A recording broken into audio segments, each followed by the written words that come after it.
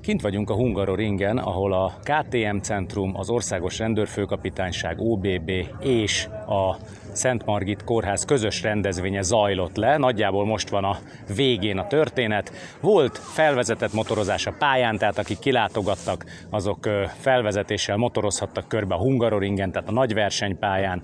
Volt kint véradás, ugye ez a Szent Margit Kórház és a Országos Vérellátó Szolgálat közös programja volt, több mint 20 motoros, illetőleg rendőrként levő rendőrök is, sőt a mi egyik kollégánk is itt adott vért, tehát Ilyen szempontból is nagy jelentősége volt a dolognak, hogy a vérkészletnek a szinten tartásához hozzá tudtunk járulni, és még egy kis vezetéstechnika is volt, tehát egy nagyon jól összetett program volt egy néhány óra leforgása alatt, hogyha vannak ilyenek, akkor csapjatok le a hasonlókra. Például holnap mi a Kalocsai reptéren leszünk ugyanígy motorokkal, sőt oda még a Kodiákot is levisszük, és ott a Blue Knights MC Kalocsai tagozatának a családi napján leszünk majd jelen. Ha tudját, tudtok, akkor látogassatok meg minket.